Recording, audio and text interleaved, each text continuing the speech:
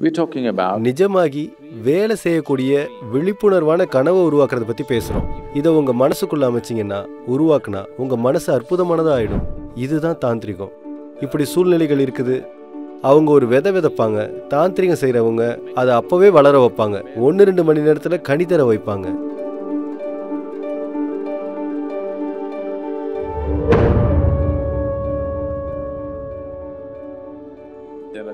மனித வாழ்க்கையில் இரண்டு பரிமாணங்கள் இருக்குது. ஒன்று மனிதன் சும்மா அப்படியே இங்கே இருக்கிறது. இன்னொன்று மனித செயல். மனிதன் செயல் செய்ய விரும்புகிறான் நீங்கள் உலகத்தில் ஏதாவது செய்ய விரும்பினா உங்கள் கனவு எவ்வளவு பெருசாகவும் தத்ரூபமாகவும் இருக்குதோ அவ்வளவு நல்லது. உங்களுக்கு வலுவில்லாத கனவு இருந்தா அது தினமும் மாறுதுன்னா அது நிஜமாகாது. நீங்க செயலை விரும்பும்போது உங்களுக்கு கனவு வேணும். நீங்க இந்த பிரபலமான பேச்சை கேட்டிருப்பீங்க. ஆமா எனக்கு ஒரு கனவு இருக்குது. அது மகத்தான விஷயங்களை செஞ்சுது.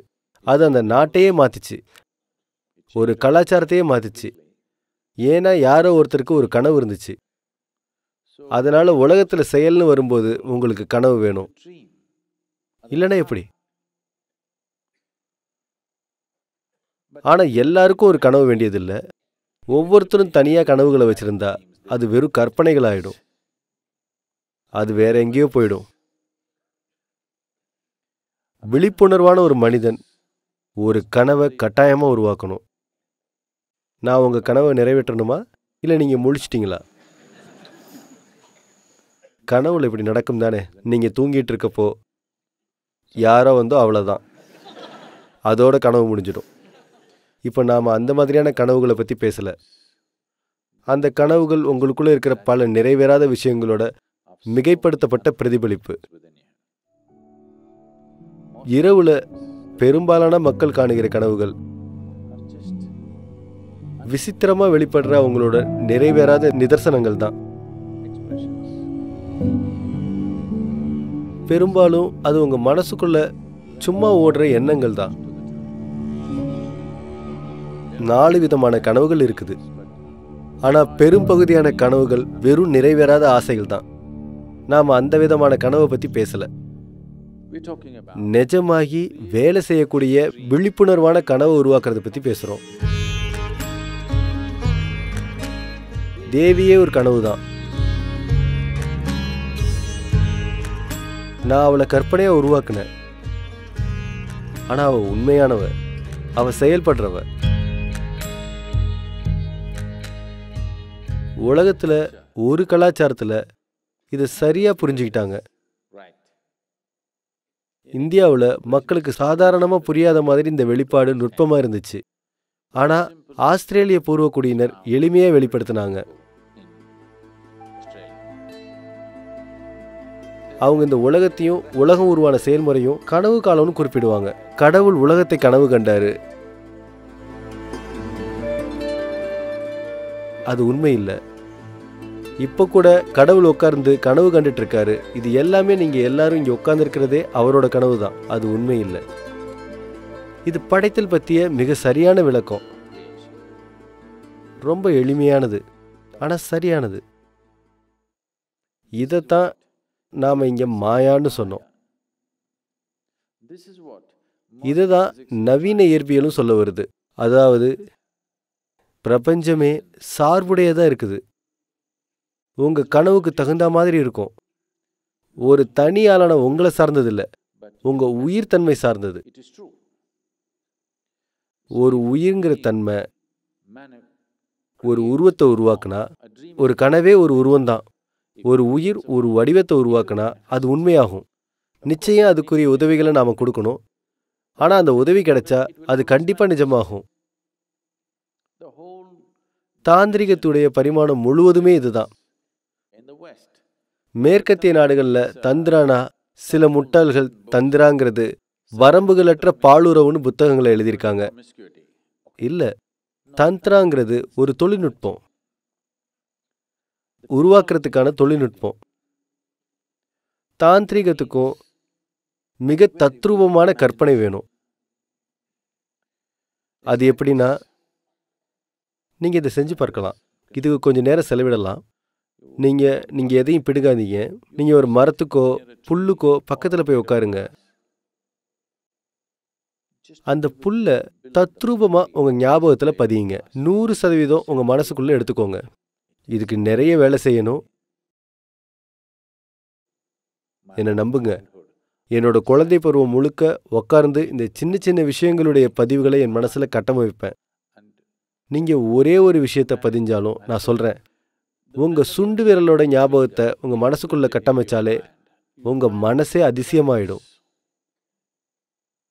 நான் ஞாபகம்னு சொல்கிறப்போ இந்த சுண்டு விரலுக்கு நிறைய குணாதிசயங்கள் இருக்குது. நீங்கள் ஒவ்வொரு மைக்ரோ மில்லிமீட்டராக போனீங்கன்னா ஒவ்வொன்றையும் கவனித்து அந்த ஞாபக பதிவை உங்கள் மனசில் கட்டமைச்சிங்கன்னா உங்கள் மனம் வெடிக்கிற மாதிரியான சாத்தியமாகும். இப்போ உங்களுக்கு வேணும்னா நீங்கள் ஒரு சுண்டு விரலை அந்த புல்லில் இருந்து வளர வைக்கலாம். இதுதான் தந்திரா அல்லது தாந்திரிகம். இப்படி சூழ்நிலைகள் இருக்குது. அவங்க ஒரு விதை விதைப்பாங்க. ஒரு மாவிதையை விதைப்பாங்க. தாந்திரிங்க செய்கிறவங்க அதை அப்போவே வளர வைப்பாங்க. ஒன்று ரெண்டு மணி நேரத்தில் கனித்தர வைப்பாங்க. ஏன்னா அது ஒரு கனவு. மரம் எப்படியும் கனவு தான் உங்கள் உடலும் எப்படியும் கனவு தான் பிரபஞ்சமும் எப்படியும் கனவு தான் ஒரு நிலையில் இது ஒரு கனவு. இது சார்புடையது. இதை தான் நாம் மாயான்னு சொன்னோம். மாயானா அந்த பொருள் இல்லைன்னு அர்த்தம் இல்லை. கனவுனா அந்த பொருள் இல்லைன்னு அர்த்தம் இல்லை அது நீங்கள் நினைக்கிற மாதிரி இல்லை. உங்கள் ஐம்புலன்கள் வழியாக நீங்கள் எப்படி உணர்றீங்களோ அது அப்படி இல்லை. அதோட தன்மை மாறுபட்டது. நான் பல்வேறு விஷயங்களை பற்றி பேசும்போது நான் பல விஷயங்களை சொல்லலாம். ஆனால் அதெல்லாம் வேற வேற இல்லை. நீங்கள் அதை பகுத்து பார்க்குற புத்தியை வச்சு பார்க்குறதால அது இப்போ உங்களுக்கு வேற வேறையா தெரியுது. இப்போ நீங்கள் அங்கே தரையில் உட்காந்துருக்கீங்க நான் இங்கே உட்காந்துருக்கேன்னு நீங்கள் நினைக்கலாம். ஆனால் இந்த பூமி. உங்களை தன்னுடைய ஒரு மேடாக தான் நினைக்குது. ஒரு நாள் யார் பேச்சு உண்மையாகும்? இப்போ நீங்கள் இல்லை அது உண்மை இல்லை. என்னால் எந்திரிக்க முடியும் நடக்க முடியும் ஓட முடியும் குதிக்க முடியும்னு சொல்லலாம். ஆனால் ஒரு நாள் இந்த பூமி உங்களை திரும்பி எடுத்துக்கிற போது பூமி உங்களை பார்த்து சிரிக்கும். So அதனால் இன்னைக்கு இரவே நீங்கள் உட்கார்ந்து இந்த மூணு விஷயங்களை கவனிக்கணும். அந்த நாளுடைய நிறைவில் நீங்கள் உங்கள் படுக்க மேலே உட்கார்ந்து நீங்கள் காலையில் எழுந்திரிச்சதுலேருந்து எப்படி நடந்திருக்கீங்கன்னு நாள் முழுவதையும் திரும்பி பார்க்கணும். அப்போ தொண்ணூறு சதவீத நேரத்தில் நீங்கள் முட்டாளாக நடந்திருக்கிறத கவனிப்பீங்க. நான் பெரிய மனசோட இந்த சதவீதத்தை சொல்கிறேன் என்னை நம்புங்க. உங்களுக்கு கொஞ்சம் வேலை கொடுக்கப்பட்டா உங்களுக்கு கொஞ்சம் பொறுப்பு கொடுக்கப்பட்டாலும் திடீர்னு நீங்கள் ரொம்ப முக்கியமானவராக ஆயிடுவீங்க. திடீர்னு இந்த பிரபஞ்சத்தை விட பெரிய ஆளாயிடுறீங்க. ஆயிடுறீங்க எத்தனை தடவை இந்த பிரபஞ்சத்தை விட பெருசானீங்கன்னு கவனிச்சா